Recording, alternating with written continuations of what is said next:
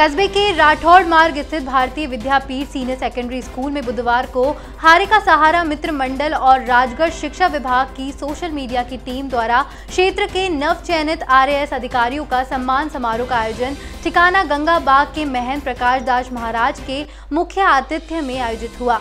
कार्यक्रम की अध्यक्षता नगर पालिका चेयरमैन सतीश दुहारिया ने की। वहीं कार्यक्रम के विशिष्ट अतिथि सरपंच संघ के ब्लॉक अध्यक्ष राजेश कुमार मीना अतिरिक्त मुख्य ब्लॉक शिक्षा अधिकारी मुकेश राम मीना पार्षद रूप नारायण मीना रहे। कार्यक्रम के नव चयनित आरएएस अधिकारी अनुपम मिश्रा, सारिका खंडेलवाल, नीलम राठौड़ का मित्र मंडल की ओर से माला और बाबा श्याम का दुपट्टा और तस्वीर भेंट कर स्वागत और सम्मान किया गया।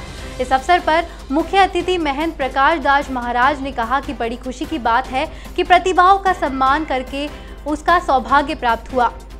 इस मौके पर नव चयनित आर अधिकारी ने कहा कि राजगढ़ की जनता की सेवा के लिए हम सब हमेशा तैयार रहेंगे। उन्होंने आने वाली पीढ़ी से अच्छी तैयारी कर राजगढ़ का नाम रोशन करने की भी बात कही।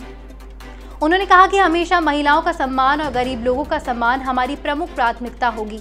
इस मौके पर शिक्षा विभाग की सोशल मीडिया टीम और हारे का सहारा मित्र मंडल की ओर से लगभग 80 गरीब परिवारों का राशन सामग्री का वितरण किया गया। कार्यक्रम में राजकुमार गुप्ता, व्याख्याता शिवराम मीना, शुभम शर्मा लल्लू राम मीना, लोकेश साहू, राहुल अग्रवाल, मनीष राजेश रोशन लाल अशोक मुखीजा, दिनेश सैन, पूर्णिमा, राजेंद्र साहू सहित सैकड़ों लोग उपस्थित रहे। कार्यक्रम का संचालन राजकुमार गुप्ता ने किया।